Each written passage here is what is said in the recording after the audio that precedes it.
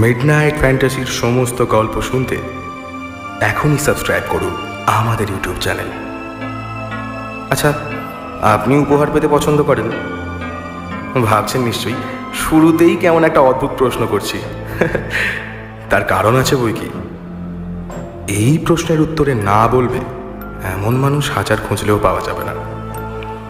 উপহার বললেই আমাদের চোখের সামনে ভেসে ওঠে রঙিন কাগজে মোড়া অজ্ঞাত কোনো বস্তু। কিন্তু কিন্তু কখনো ভেবে দেখেছেন কি? ওই রঙিন আকর্ষণীয় আবরণের মধ্যেই যদি লুকিয়ে থাকে এমন কিছু, যা আপনার জীবনকে নিমেষে তছনছ করে দেওয়ার ক্ষমতা রাখে? সেটা যদি না চান, তাহলে প্রথমেই উপহারের দিকে নজর না দিয়ে নজর দিন উপহার দাতার দিকে। কারণ রহস্য সেই উপহারে নয় আছে উপহার দাতার মধ্যেই। কেন এমন বলছি? একটু পরেই তা বুঝতে পারবেন।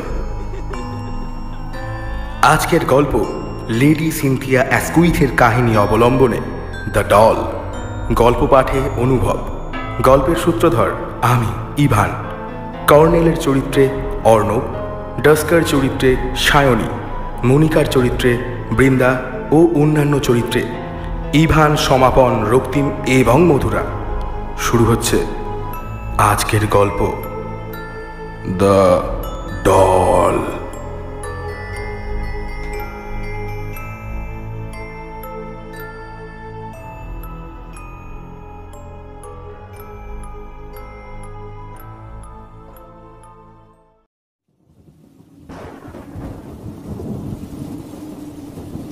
কখনো কখনো কোনো কোনো রাত একটু বেশি অন্ধকার থাকে। এই অন্ধকার অন্যান্য রাতের অন্ধকারের থেকে সম্পূর্ণ অন্যরকম। তাই এই অন্ধকার দেখে কেমন গাটা ছমছম করে ওঠে। এই রাতকে যেন কেমন মায়াবী রহস্যময় বলে মনে হয়। আর এই অন্ধকারের দিকে তাকিয়ে শরীরের ভেতর থেকে শিউরে শিউরে ওঠে একটা তৃতীয় সত্তা সে যেন তীব্র অনুভূতি দিয়ে জানাতে চায়, কিছু একটা ঘটবে। কিছু একটা যেন ঘটতে চলেছে এই অমারাতের অশুভ অন্ধকারে। এই অন্ধকারে যেন মানুষ কান পেতে থাকে বাইরের নিশুতি রাতের আকস্মিক কোনো সংকেতের জন্য। বাংলোর বাইরে যদি টুক করে একটা পাতাও ঝরে পড়ে তাহলে মানুষের পায়ের আওয়াজ ভেবে বাড়ির বাসিন্দারা চমকে ওঠে। আর মনে করে, বাড়িটা এবার ছেড়েই যেতে হবে। বাইরে বিরাট বাগান দিয়ে ঘেরা বলেই বাড়িটাকে এত নিশ্চুপ আর নিঃসঙ্গ বলে মনে হয়। একটা নভেম্বরের শীতের রাতের কথা বলছি। বাড়ির মালিক কর্নেল মাস্টার। ভদ্রলোকের পুরো নাম কর্নেল হেম্বার মাস্টার। কিন্তু সবাই তাকে কর্নেল মাস্টারই বলে। তিনি বহুদিন ইন্ডিয়ার রেজিমেন্টে ছিলেন। এখন অবসর নিয়ে নিজের বাড়ির শান্ত পরিবেশে অবসর যাপন করছেন। স্ত্রীকে তিনি বহুদিন আগেই হারিয়েছেন। তার শেষ অবলম্বন তার ছোট্ট মেয়ে মনিকা। মা মরা মেয়েটার যত্ন আত্মি একেবারেই হয় না। তাই তাকে দেখাশোনা করার জন্য একজন পুলিশ মহিলাকে রেখেছেন তিনি।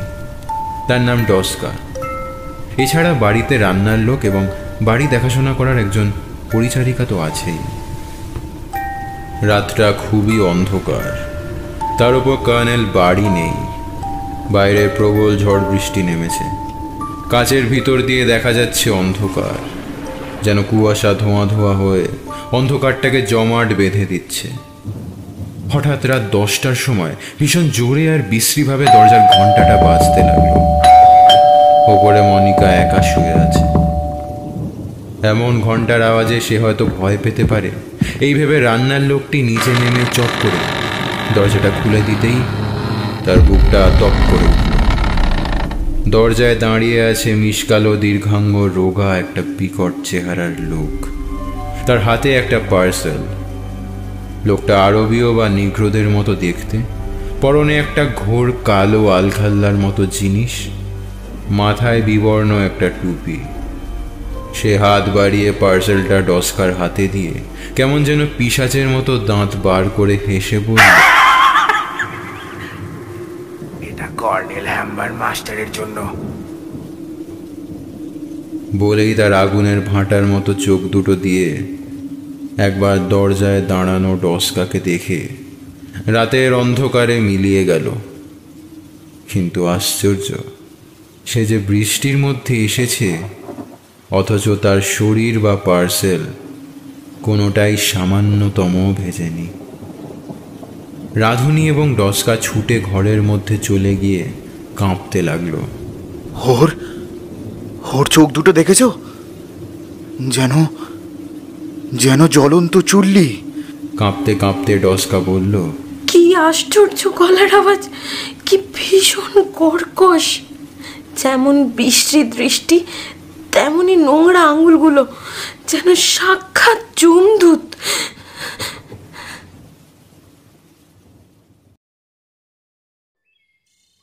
পরদিন সকালে কর্নেল বাড়ি থেকে বেরিয়ে গেলে ওরা মনিকাকে লুকিয়ে দরজা এঁটে বন্ধ করে দিয়ে পার্সেলটা খুলল।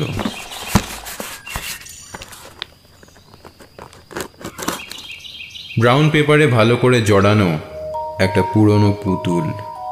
পুতুলটা হতশ্রী। লোকটাকে দেখতে যতই ভয়ানক হোক, পুতুলটার মধ্যে সেসব কিছুই নেই। ওরা দুজন পুতুলটা বেশ করে ঘুরিয়ে ফিরিয়ে দেখল। কিন্তু উপহার দেওয়ার আর কি অন্য কোনো জিনিস ছিল না? আশ্চর্য। পুতুলটা একসময় কারোর খেলার সঙ্গী ছিল বলেই মনে হয়। পুতুলের চুলগুলো বেশ খানিকটা ছেঁড়া, একটা হাত ভাঙা। ওরা পুতুলটাকে ভালো করে দেখে। আবার সেই ব্রাউন পেপারে যেমন করে পার্সেলটা জড়ানো ছিল, তেমন করেই জড়িয়ে রাখল। কর্নেল রোজ সন্ধ্যায় তাসের আড্ডায় বেরিয়ে যান। ফেরেন রাত প্রায় এগারোটায়। তখন সম্পূর্ণ প্রকৃতিস্থ থাকেন না তিনি। সুতরাং সেই সময় ওটা তাকে দেওয়ার কোনো মানেই হয় না। পরদিন সকালে তার উপহার তাকেই দেওয়া হবে। সেটাই ভালো। সুতরাং ওরা সেই পুতুলটা কর্নেলের পড়ার ঘরের ডেস্কে রেখে চলে এলো। সামান্য একটা ভাঙা পুতুল, তার উপর অমন একজন লোক দিয়ে গেছে। তাই বাড়ির পরিচারিকা ওরেইলি ওটা সম্পর্কে কর্নেলকে জানানোর কোনো প্রয়োজনই বোধ করল না। তারপর কাজকর্মের ব্যস্ততার মধ্যে পুতুলটার কথা সে একেবারেই ভুলে গেল। ডস্কা একদিন তাকে ডেকে বলল, ওই পুতুলটার কথা তুমি কর্নেলকে বলেছ? না ওটার কথা আর কি বলব?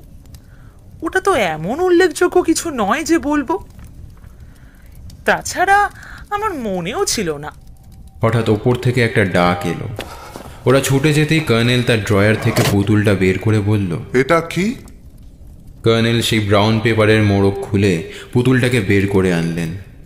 তার দিকে একদৃষ্টে তাকিয়ে যেন তিনি থরথর করে কাঁপতে লাগলেন। এটা এটা কে দিল? কাল রাতে একটা ভীষণ মিসকালো চেহারার লোক এসে আপনার জন্য ওটা দিয়ে গেল। আর দিয়েই যেন হাওয়ায় মিলিয়ে গেল। আমরা তাকে অনেক ডাকলাম খুঁজলাম কিন্তু পেলাম না।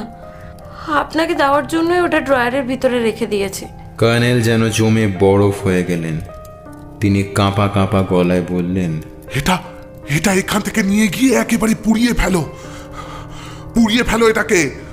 কিন্তু কিন্তু খুব সাবধান। মনিকা যেন জানতে না পারে। ওকে ওকে এটার কথা একদম জানতেই দিও না। আর কখনো ওকে পুতুল কিনে দিও না। মনে রেখো তাহলেই ওর সর্বনাশ হবে। ধরো ধরো ধরো ধরো এটা। নিয়ে যাও নিয়ে যাও আমার চোখের সামনে থেকে এটাকে। ডস্কা পুতুলটা নিয়ে ছুটে বেরিয়ে গেল। পিছন পিছন ছুটল ওরেইলি ওরা রান্নাঘরে গিয়ে ওটা পোড়াতে যেই যাবে। অমনি রাধুনি বলল ওটা ওটা পুড়িও না। ওটা আমায় দিয়ে দাও বরং। না না কর্নেল জানতে পারলে আমাকে শেষ করে দেবেন। আরে কি করে জানবে? আমি যখন বাইরে যাব ওটা ফেলে দিয়ে আসব খন ঠিক ঠিক বলছো। আরে ঠিক বলছি আমি। মনিকাকে একবার খাবারটা দিয়ে আসি তারপরেই ওটা আমি ফেলে দেবো। রাধুনি মনিকাকে খাবারটা দিতে গেল। মেয়েটা বিছানায় চুপ করে শুয়েছিল। ছেলেপুলেদের কাছে কত খেলনা, কত পুতুল থাকে, কিন্তু ওর ঘরে কিছুই নেই।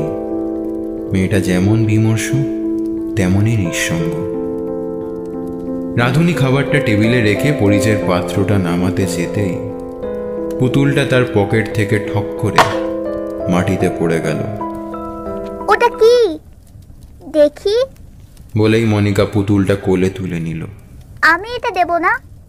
এটা আমার কাছেই থাকবে। সে কি? এটা এটা আমার যে? না না আমি এটা দেব না। এটা কেড়ে নিলে আমি কিন্তু বাবাকে বলে দেবো। বেশ তাহলে ওটা থাক তোমার কাছে।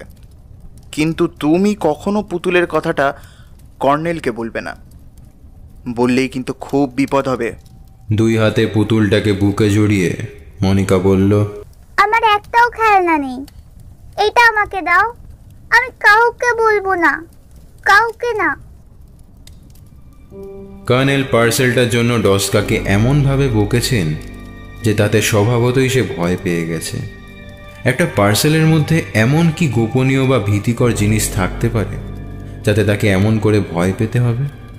ডসকা ভাবলো আশ্চর্য ভদ্রলোক। স্ত্রী মারা যাওয়ার পর একা একা থাকার ফলেই হয়তো এই অবস্থা হয়েছে ওর। পুরো মাথাটাই খারাপ হয়ে গেছে। কিন্তু যার বাড়িতে সে কাজ করছে, সেই প্রভুকে তো আর কিছু বলা যায় না। কাজেই অত্যন্ত শঙ্কিত হয়েই রইল সে। যে কখনো একটা খেলনাও পায়নি, সে আজ একটা পুতুল পেল। তাই মনিকার আনন্দের আর শেষ নেই। বাঘ বা ভাল্লুক পেলেও সে হয়তো এতটাও খুশি হতো না। কারণ সেগুলোর মধ্যে মানবীয় আবেদন তো তেমন কিছুই নেই। কিন্তু একটা পুতুল তো একটা মানুষেরই প্রতিবিম্ব। তাই তাকে পেয়ে যেন মনিকা বেঁচে গেল। সারাদিন তার পুতুলটাকে নিয়েই সময় কাটে। তাকে নাওয়ায়, ধোয়ায়, খাওয়ায়, তারপর নিজের বিছানায় পাশে শুইয়ে পুতুলকে ঘুম পাড়াতে পাড়াতে। কখন যে নিজেই ঘুমিয়ে পড়ে তা সে নিজেও জানে না। ডস্কা তাকে খেতে দিতে এসে চমকে ওঠে। পুতুলটাকে সে বুকে জড়িয়ে ধরে শুয়ে আছে। যদি কর্নেল দেখতে পায়, তাহলে তো তারা আর আস্ত থাকবে না।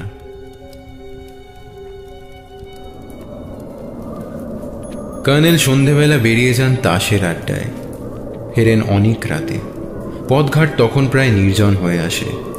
অর্ধচেতন অবস্থায় নেশার ঘোরে সেদিনও টলতে টলতে এগিয়ে যাচ্ছিলেন নিজের বাড়ির দিকে। পিছনে কে যেন আসছে। দ্রুত পায় কিন্তু নিঃশব্দে। কে? কর্নেল থামলেন। শব্দও থামলো কিন্তু কোনো উত্তর নেই। আবার চলতে লাগলেন তিনি। আবার সেই শব্দ। পিছনে কে যেন চলেছে। দিক বিদিক জ্ঞান হারিয়ে তিনি ছুটতে লাগলেন। যখন বাড়ির প্রায় কাছে এসে পড়েছেন ঠিক সেই সময় একটা নিকশ কালো লোক পরনে কালো আলখাল্লা অট্ট হাসিতে আকাশ ফাটিয়ে দিয়ে বলল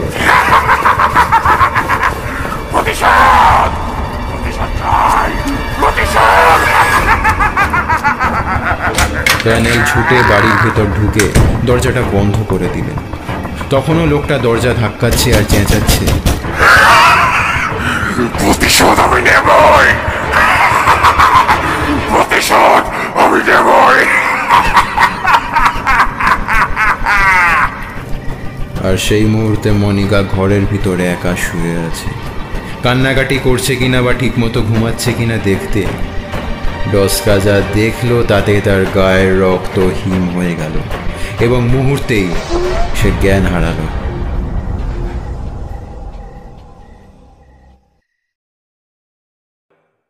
পরদিন সকালে উঠে ডসকা বলল কর্নেল হ্যাঁ আমি একবার বাড়ি যেতে চাই। আমার বাবা খুব অসুস্থ।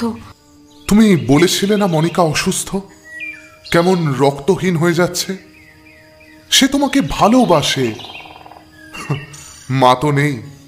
তুমিই তার মায়ের মতো। এই অবস্থায় তাকে রেখে চলে যাওয়া কি তোমার উচিত হবে?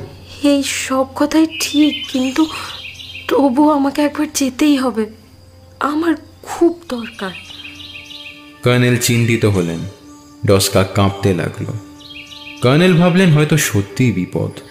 তাই এমন বিচলিত হয়ে পড়েছে ডস্কা। তাই বললেন ঠিক আছে যাও। তবে তাড়াতাড়ি এসো কিন্তু। ডস্কা বাড়ি চলে গেল কিন্তু তার মন পড়ে রইল মনিকার কাছে। কি জানি কি হয় ওর ওর কপালে কি যে আছে। বাড়ি সে গেল বটে তবে থাকতে পারল না। তার সৎ বাবা তাকে দেখেই ভয়ানক চটে গেল। আপদটা আবার এসেছে। আবার আমার হাত জ্বালাতে এসেছে। এই যে শোনো, একটা কথা কান খুলে শুনে রাখো। আমার বাড়িতে তোমার কোনো জায়গা নেই। কি হলো? শুনতে পাচ্ছ না? কথা কানে যাচ্ছে না? দূর হয়ে যাও। দূর হয়ে যাও, দূর হয়ে যাও! অতএব আবার তাকে ফিরতে হলো, সম্পূর্ণ নিজের অনিচ্ছায়। এই দীর্ঘ সাত দিনে বাড়ির কি অবস্থা হয়েছে? টস্কা জানে না। কিন্তু এইটা ঠিক বুঝতে পেরেছে ওদের বাড়ির ওপর। সমূহ বিপদ অচিরেই নেমে আসবে। বাড়িতে যখন সে ফিরে এলো, তখন রাত হয়ে গেছে। কর্নেল যথারীতি তাসের আড্ডায়। পরিচারিকা এবং রাধুনী অত্যন্ত বিচলিতভাবে কথাবার্তা বলছে। রাতে মনিকা ঘুমোলে, তারা দুজনে চুপি চুপি এসে পুতুলটা তার বুকের থেকে সরিয়ে নেবে বলে দরজাটা খুলতেই দেখল একটা বিকট নারী মূর্তি ধীরে ধীরে পুতুলের মধ্যে থেকে বেরিয়ে আসছে। মনিকা অঘোর ঘুমে অচেতন, আর পুতুলটা তার গলায় মুখ লাগিয়ে রক্ত শুষে খাচ্ছে। ঠোঁট বেয়ে গড়িয়ে পড়ছে ফোঁটা ফোঁটা রক্ত। সাদা বালিশের কভার সেই রক্তে লাল হয়ে যাচ্ছে। ডস্কা সব শুনল সে সহজেই বুঝলো এই পুতুলটা মন্ত্রপুত পিসাচ কর্নেলের ওপর প্রতিশোধ নেওয়ার জন্য ওই কালো নিগ্রোটা ওকে চালান করে গেছে। ও আগে মনিকাকে মারবে, শেষে কর্নেলকে মারবে। দশকা বেশ খানিক্ষণ চুপ করে রইল। না, আর চুপ করে থাকা চলবে না। এবার সত্য প্রকাশ করতেই হবে। যার বাড়িতে সে আশ্রয় আছে, তাদেরকে এইভাবে সর্বনাশের দিকে ঠেলে দেওয়া যায় না। কর্নেল আমি এসেছি। আমি খুব খুশি হয়েছি। জানো রাস্কা আমার মনিকা দিন দিন কীরকম যেন হয়ে যাচ্ছে। মনে হচ্ছে ওর গায়ে আর এক বিন্দু রক্ত নেই। কথা পর্যন্ত বলতে পারে না।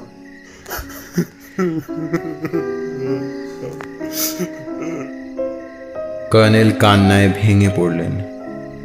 দশকা আমার মনিকার কি হলো বলো তো? ও কি আর বাঁচবে না। যত ডাক্তার দেখাচ্ছি তত নিরাশ হচ্ছি। কি যে রোগ কেউ ধরতে পর্যন্ত পারছে না। ডস্কা বলল কর্নেল একটা কথা আপনাকে অনেকদিন ধরে বলি বলি করে বলা হয়নি। চারিদিকে চারিদিকে অমঙ্গলের ছায়া ঘনিয়ে আসছে। কিন্তু আর চুপ করে থাকলে আপনার প্রাণ সংশয় হতে পারে। তাই বলতে বাধ্য হচ্ছি। আপনি যে পুতুলটা উপহার স্বরূপ পেয়েছিলেন, সেটা আপনি আমাদের পুড়িয়ে ফেলতে বলেছিলেন। কিন্তু ওরাইলির হাত থেকে মনিকা ওটা ছিনিয়ে নেয়। তারপর ও ওটা নিয়ে ওর বিছানার পাশেই শুয়ে রাখে। নাওয়ায়, খাওয়ায়, ভালোবাসে নিজের বাচ্চার মতো। প্রতি রাতে ঘুমের মধ্যে ওই পুতুলটার সঙ্গে কথা বলে। আর পুতুলটা তখন মানুষের আকার নিয়ে? ওহ, তোমরা আমার কি সর্বনাশ করলে? আমি কি গরিব যে মেয়েকে পুতুল কিনে দিতে পারি না?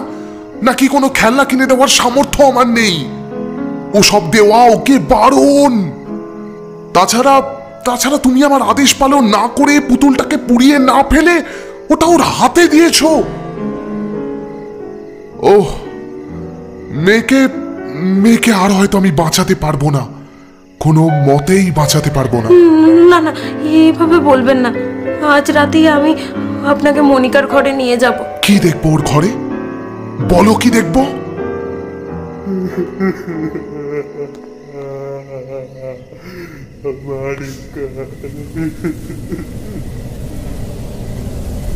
কর্নেল কান্নায় ভেঙে পড়লেন।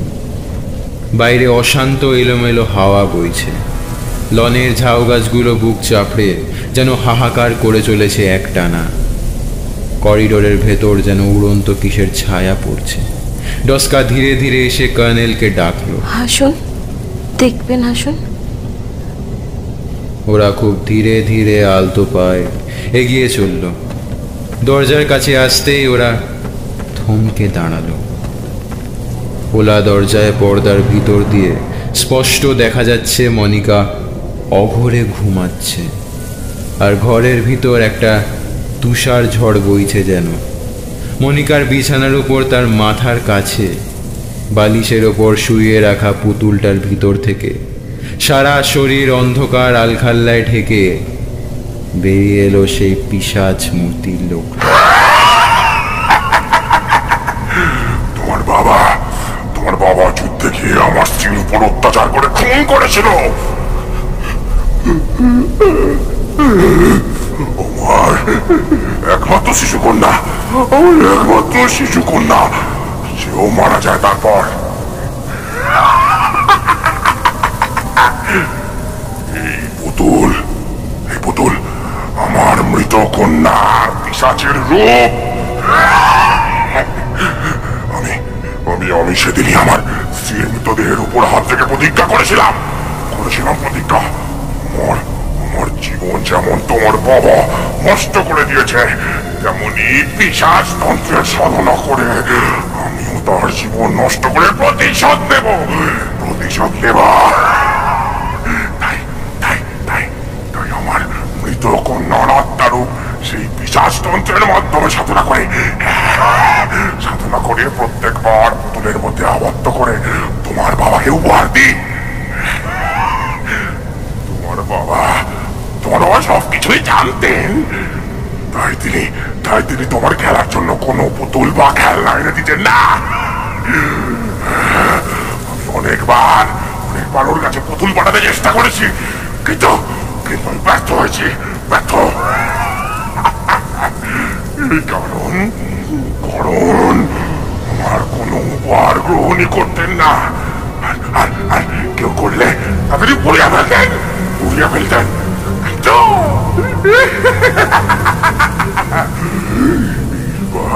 আমি সফল হয়েছি। সফল মৃত্যুর জন্য তৈরি হও তৈরি হও। সঙ্গে সঙ্গে কর্নেল ঘরে ঢুকে হাতের পিস্তল দিয়ে ওকে আক্রমণ করল। পিস্তল থেকে দুটো গুলি বেরোতেই চারিদিকে যেন প্রবল তুষার ঝড়ের সৃষ্টি হলো। আর তারই মধ্যে সেই কালো মূর্তিটা ছুটে এসে কর্নেলের গলায় কালো কালো পিসাচের দাঁত দিয়ে মুহূর্তের মধ্যে ধর থেকে মাথাটা বিচ্ছিন্ন করে সেই ক্ষতে মুখ লাগিয়ে খেতে লাগল রক্ত। বাবা! বাবা! তারপর মুখ তুলে মনিকার দিকে তাকিয়ে চিৎকার করে উঠল। প্রতিশোধ! প্রতিশোধ! প্রতিশোধ নেবই!